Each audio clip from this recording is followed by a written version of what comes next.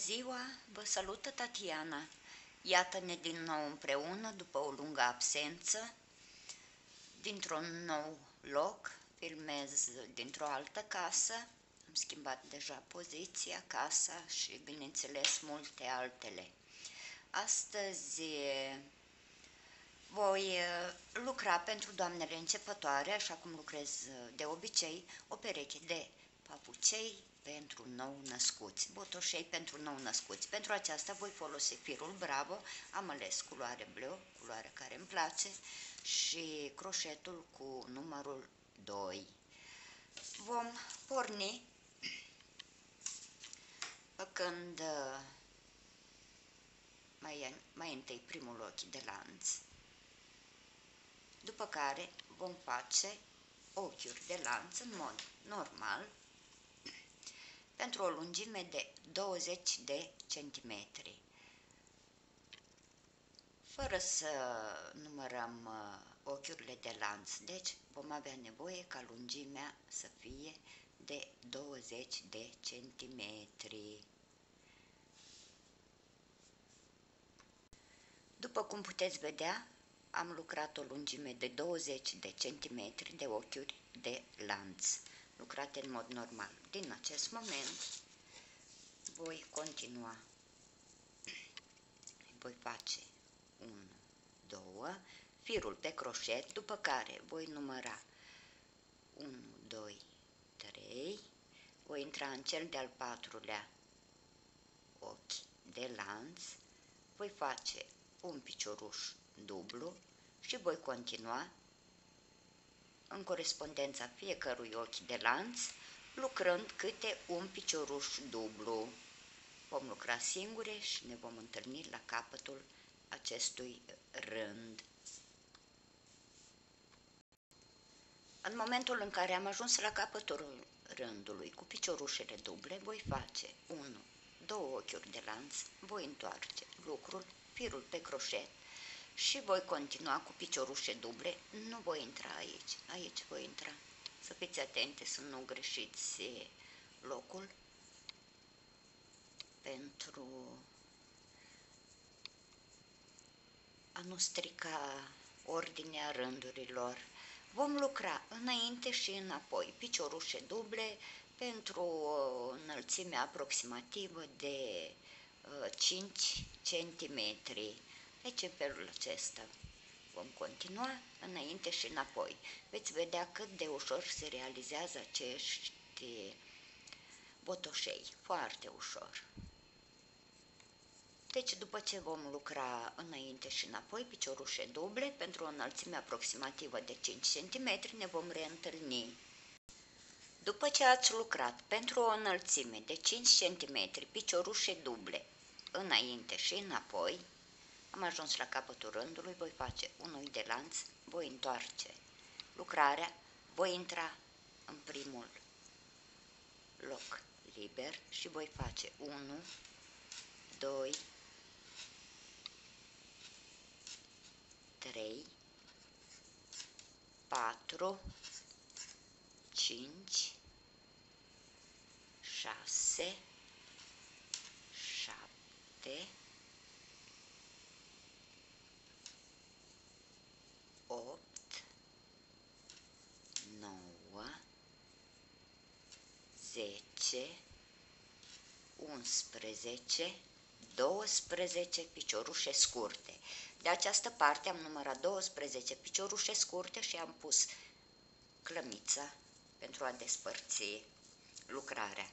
După ce am lucrat aceste 12 piciorușe scurte, vom face scăderi până în corespondența celui de-al 12-lea picioruș din această parte. Cum vom scădea? Vom intra în felul acesta. În primul picioruș tragem firul, în cel de-al doilea picioruș tragem firul și le închidem pe toate trei împreună. Apoi din nou un picioruș, cel de-al doilea închidem toate împreună.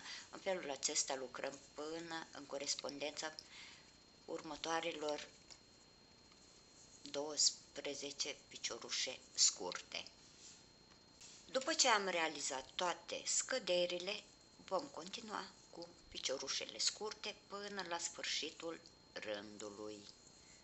Noi ne vom reîntâlni pentru a continua lucrarea. Felul acesta.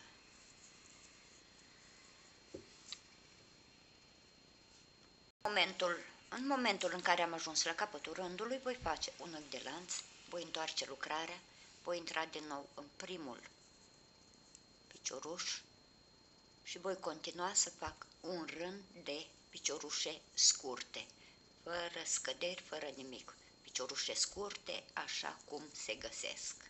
Deci un rând. După ce am încheiat rândul de piciorușe scurte, voi face un oi de lanț, voi întoarce lucrul, voi intra exact în primul spațiu disponibil și voi face un număr de 8 piciorușe scurte. 2, 3, 4, 5, 6, 7, 8, 8 piciorușe scurte am numărat și de această parte. De acum voi continua cu scăderi până în corespondența clămiței despărțitoare și vom scădea în același mod, cum v-am arătat. Deci trecem prin primul picioruș, prin cel de-al doilea și închidem toate trei piciorușele împreună. Așa vom lucra până vom ajunge în corespondența clămiței despărțitoare, iar noi ne vom reîntâlni. Am încheiat scăderile, cam așa se prezintă ceea ce am lucrat până acum. Voi continua cu piciorușele scurte până la sfârșitul rândului și apoi vom face din nou un rând de piciorușe scurte. Acum vom termina acestea, felul acesta, deci 8 de o parte pentru cel de-al doilea rând de scăderi și 8 piciorușe scurte de cealaltă parte. Am ajuns la capătul rândului, un ochi de lanț, voi întoarce lucrul, intru în primul spațiu disponibil și voi continua un rând de piciorușe scurte așa cum se găsesc. Noi ne întâlnim la sfârșitul rândului.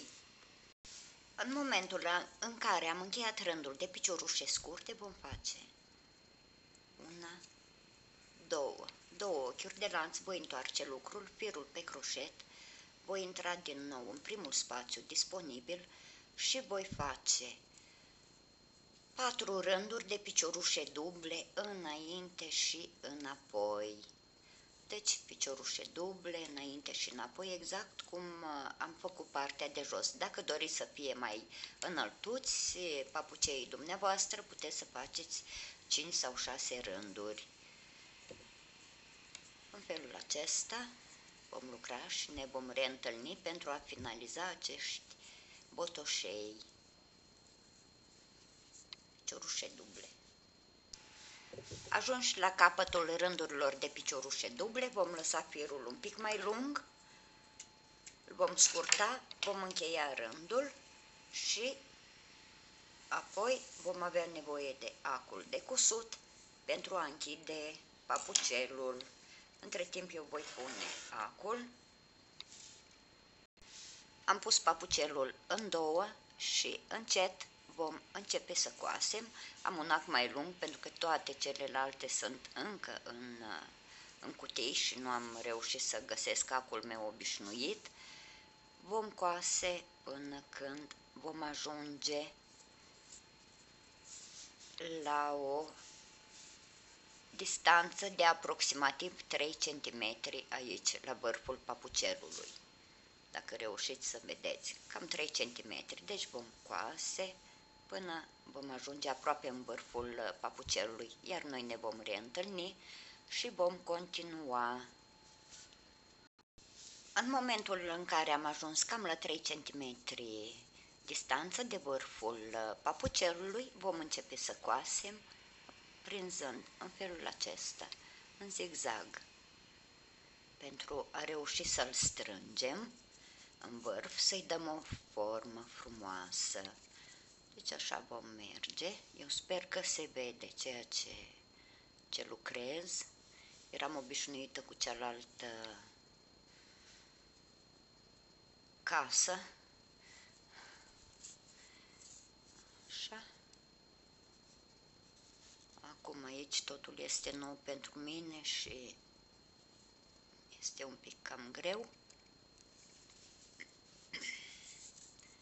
Deci, în momentul în care am ajuns și aici și am cusut în zigzag, vom strânge și vom ascunde capătul de fir. După care vom scurta aceste fire care le avem. Vom întoarce papucelul pe față și va fi gata. Cam așa se prezintă botoșeii noștri. Eu am pus un pic de vat în interior pentru a le da formă. Am aplicat și aceste două fundițe și cu aceasta sper ca ceea ce am realizat astăzi să fie de ajutor doamnelor începătoare iar eu închei ca de fiecare dată cu aceleași cuvinte, vă îmbrățișez cu drag pe fiecare dintre dumneavoastră, vă iubesc, sunt Tatiana și ne vom reîntâlni. La revedere!